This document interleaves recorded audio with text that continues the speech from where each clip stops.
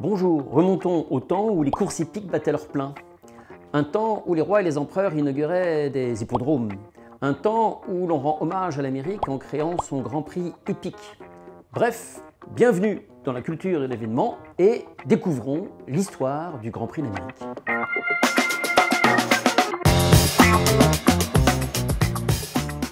On connaît tous les courses de chars dans le Circus Maximus de Rome il y a environ 2000 ans. Toutes ces courses épiques qui ont perduré jusqu'en 1204 euh, dans l'hippodrome de Constantinople.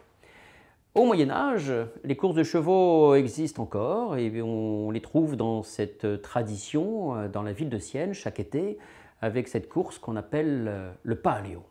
Les grandes réceptions et les ambassades du XVIIe siècle organisent aussi des courses épiques notamment pour Louis XIV et le roi Charles II d'Angleterre. Mais il faut attendre le XVIIIe siècle pour euh, construire un hippodrome dans la plaine des Sablons à Neuilly en 1776 et quelques années plus tard d'ailleurs à Vincennes. Durant le règne de Louis-Philippe, on construit un nouvel hippodrome à Chantilly en créant à la fois le prix du Jockey Club en 1836 et celui de Diane en 1843.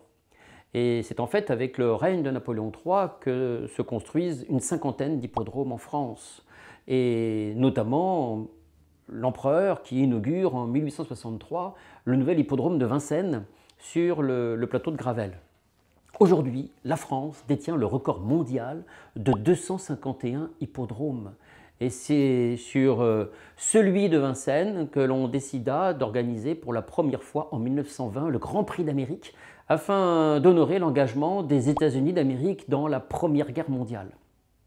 Épreuve reine du trot attelé, le Grand Prix d'Amérique est vraiment l'événement hippique de l'année.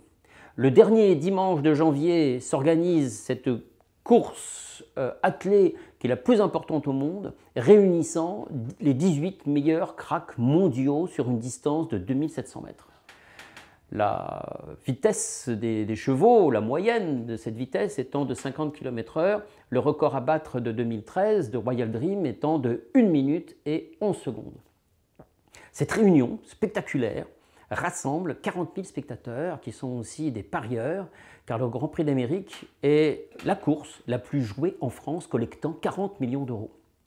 On voit d'ailleurs que le nom de parieur peut s'appeler aussi turfiste, et turf en anglais signifie tourbe, car euh, la tourbe était répandue sur les premiers champs de course anglais euh, afin de faciliter le déroulement, le déroulement de la course. Donc on peut traduire turfiste en tant qu'amateur de la tourbe.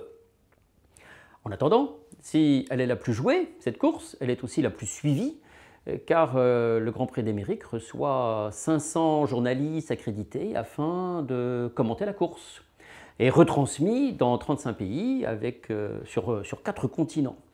Le Grand Prix d'Amérique est devenu vraiment un événement hippique mondial et l'hippodrome de Vincennes, le temple du trot attelé en France.